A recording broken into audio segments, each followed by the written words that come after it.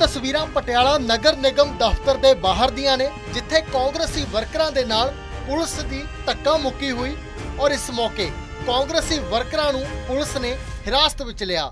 ਪਾਣੀ ਦੀ ਸਪਲਾਈ ਅਤੇ ਗੰਦੇ ਪਾਣੀ ਦੀ ਨਿਕਾਸੀ ਨੂੰ ਲੈ ਕੇ ਕਾਂਗਰਸ ਦੇ ਵੱਲੋਂ ਰੋਸ ਪ੍ਰਦਰਸ਼ਨ ਕੀਤਾ ਜਾ ਰਿਹਾ ਸੀ। ਸ਼ਹਿਰ ਦੇ ਵਿੱਚ ਬਿਮਾਰੀਆਂ ਫੈਲਣ ਦਾ ਖਤਰਾ ਜਿਹੜਾ ਬਣਿਆ ਹੋਇਆ, ਲੋਕਾਂ ਨੂੰ ਡਾਇਰੀਆ ਵਰਗੀਆਂ ਬਿਮਾਰੀਆਂ ਲੱਗ ਰਹੀਆਂ ਨੇ, ਜਿਸ ਤੋਂ ਬਾਅਦ ਕਾਂਗਰਸੀ ਆਗੂ ਸੰਜੀਵ ਸ਼ਰਮਾ ਦੀ ਅਗਵਾਈ ਦੇ ਵਿੱਚ ਕਾਂਗਰਸ ਨੇ ਧਰਨਾ ਦਿੱਤਾ। ਇਸ ਮੌਕੇ ਪੁਲਿਸ ਦੇ ਨਾਲ ਉਹਨਾਂ ਦੀ ਧੱਕਾ ਮੁੱਕੀ ਹੋਈ, ਖਿੱਚਤੂ ਹੋਈ।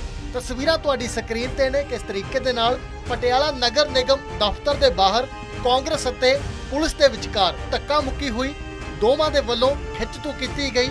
ਪਾਣੀ ਦੀ ਸਪਲਾਈ ਅਤੇ ਗੰਦੇ ਪਾਣੀ ਦੀ ਨਿਕਾਸੀ ਨੂੰ ਲੈ ਕੇ ਰੋਸ ਕੀਤਾ ਜਾ ਰਿਹਾ ਸੀ। ਇਸ ਮੌਕੇ ਪੁਲਿਸ ਨੇ ਕਈ ਕਾਂਗਰਸੀ ਆਗੂਆਂ ਨੂੰ ਹਿਰਾਸਤ ਵਿੱਚ ਲਿਆ।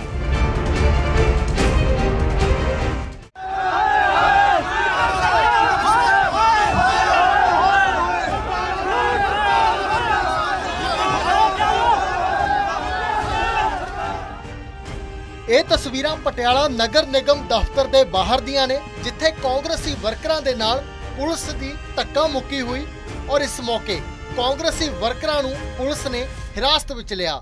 ਪਾਣੀ ਦੀ ਸਪਲਾਈ ਅਤੇ ਗੰਦੇ ਪਾਣੀ ਦੀ ਨਿਕਾਸੀ ਨੂੰ ਲੈ ਕੇ ਕਾਂਗਰਸ ਦੇ ਵੱਲੋਂ ਰੋਸ ਪ੍ਰਦਰਸ਼ਨ ਕੀਤਾ ਜਾ ਰਿਹਾ ਸੀ। ਸ਼ਹਿਰ ਦੇ ਵਿੱਚ ਬਿਮਾਰੀਆਂ ਫੈਲਣ ਦਾ ਖਤਰਾ ਜਿਹੜਾ ਬਣਿਆ ਹੋਇਆ, ਲੋਕਾਂ ਨੂੰ ਡਾਇਰੀਆ ਵਰਗੀਆਂ ਬਿਮਾਰੀਆਂ ਲੱਗ ਰਹੀਆਂ ਨੇ, ਜਿਸ ਤੋਂ ਬਾਅਦ ਕਾਂਗਰਸੀ ਆਗੂ ਸੰਜੀਵ ਸ਼ਰਮਾ ਦੀ ਅਗਵਾਈ ਦੇ ਵਿੱਚ ਕਾਂਗਰਸ ਨੇ ਧਰਨਾ ਦਿੱਤਾ। ਇਸ ਮੌਕੇ ਪੁਲਿਸ ਦੇ ਨਾਲ ਉਹਨਾਂ ਦੀ ਧੱਕਾ ਮੁੱਕੀ ਹੋਈ, ਖਿੱਚਤੂ ਹੋਈ।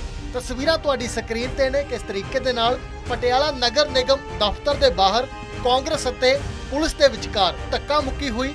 ਦੋਵਾਂ ਦੇ ਵੱਲੋਂ ਖਿੱਚਤੂ ਕੀਤੀ ਗਈ। ਪਾਣੀ ਦੀ ਸਪਲਾਈ ਅਤੇ ਗੰਦੇ ਪਾਣੀ ਦੀ ਨਿਕਾਸੀ ਨੂੰ ਲੈ ਕੇ ਰੋਸ ਕੀਤਾ ਜਾ ਰਿਹਾ ਸੀ। ਇਸ ਮੌਕੇ ਪੁਲਿਸ ਨੇ ਕਈ ਕਾਂਗਰਸੀ ਆਗੂਆਂ ਨੂੰ ਹਿਰਾਸਤ ਵਿੱਚ ਲਿਆ।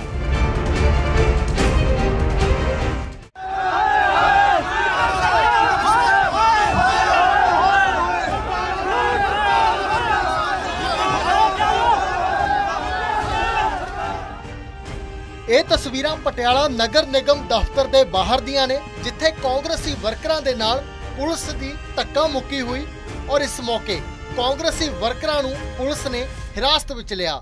ਪਾਣੀ ਦੀ ਸਪਲਾਈ ਅਤੇ ਗੰਦੇ ਪਾਣੀ ਦੀ ਨਿਕਾਸੀ ਨੂੰ ਲੈ ਕੇ ਕਾਂਗਰਸ ਦੇ ਵੱਲੋਂ ਰੋਸ ਪ੍ਰਦਰਸ਼ਨ ਕੀਤਾ ਜਾ ਰਿਹਾ ਸੀ। ਸ਼ਹਿਰ ਦੇ ਵਿੱਚ ਬਿਮਾਰੀਆਂ ਫੈਲਣ ਦਾ ਖਤਰਾ ਜਿਹੜਾ ਬਣਿਆ ਹੋਇਆ, ਲੋਕਾਂ ਨੂੰ ਡਾਇਰੀਆ ਵਰਗੀਆਂ ਬਿਮਾਰੀਆਂ ਲੱਗ ਰਹੀਆਂ ਨੇ, ਜਿਸ ਤੋਂ ਬਾਅਦ ਕਾਂਗਰਸੀ ਆਗੂ ਸੰਜੀਵ ਸ਼ਰਮਾ ਦੀ ਅਗਵਾਈ ਦੇ ਵਿੱਚ ਕਾਂਗਰਸ ਨੇ ਧਰਨਾ ਦਿੱਤਾ। ਇਸ ਮੌਕੇ ਪੁਲਿਸ ਦੇ ਨਾਲ ਉਹਨਾਂ ਦੀ ਧੱਕਾ ਮੁੱਕੀ ਹੋਈ, ਖਿੱਚਤੂ ਹੋਈ। ਤਸਵੀਰਾਂ ਤੁਹਾਡੀ ਸਕਰੀਨ ਤੇ ਨੇ। ਕਿਸ ਤਰੀਕੇ ਦੇ ਨਾਲ ਪਟਿਆਲਾ ਨਗਰ ਨਿਗਮ ਦਫ਼ਤਰ ਦੇ ਬਾਹਰ ਕਾਂਗਰਸ ਅਤੇ ਪੁਲਿਸ ਦੇ ਵਿਚਕਾਰ ਧੱਕਾ ਮੁੱਕੀ ਹੋਈ। ਦੋਵਾਂ ਦੇ ਵੱਲੋਂ ਖਿੱਚਤੂ ਕੀਤੀ ਗਈ। ਪਾਣੀ ਦੀ ਸਪਲਾਈ ਅਤੇ ਗੰਦੇ ਪਾਣੀ ਦੀ ਨਿਕਾਸੀ ਨੂੰ ਲੈ ਕੇ ਰੋਸ ਕੀਤਾ ਜਾ ਰਿਹਾ ਸੀ। ਇਸ ਮੌਕੇ ਪੁਲਿਸ ਨੇ ਕਈ ਕਾਂਗਰਸੀ ਆਗੂਆਂ ਨੂੰ ਹਿਰਾਸਤ ਵਿੱਚ ਲਿਆ।